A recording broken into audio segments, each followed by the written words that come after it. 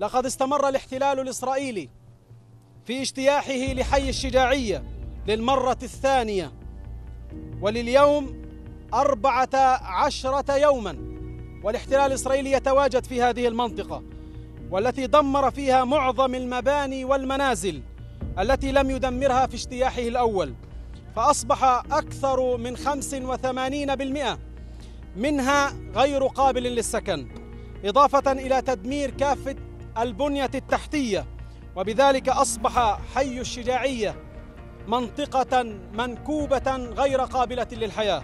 وحسب شهادات بعض المواطنين الذين سمح لهم الجيش الإسرائيلي بالخروج من منازلهم أثناء عمليات اجتياحه لحي الشجاعية أفادوا بأن الجيش بعد أن أعطاهم الأمان من أجل الخروج من هذه المنطقة قام بإطلاق الطلقات النارية والقذائف على هؤلاء المواطنين الأمر الذي أدى إلى استشهاد عدد من هؤلاء وقتل امرأتين وإصابة آخرين. إن طواقم الدفاع المدني وفور انسحاب القوات الإسرائيلية من حي الشجاعية تعاملت واستطاعت بالشراكة مع المواطنين من انتشال أكثر من ستين شهيدا من منطقة الشجاعية وهذه إحصائية أولية حتى الآن. وهناك العشرات من الشهداء الذين لا زالوا حتى هذه اللحظة متواجدين تحت أنقاض المنازل. نطالب بضرورة توفير الوقود بشكل عاجل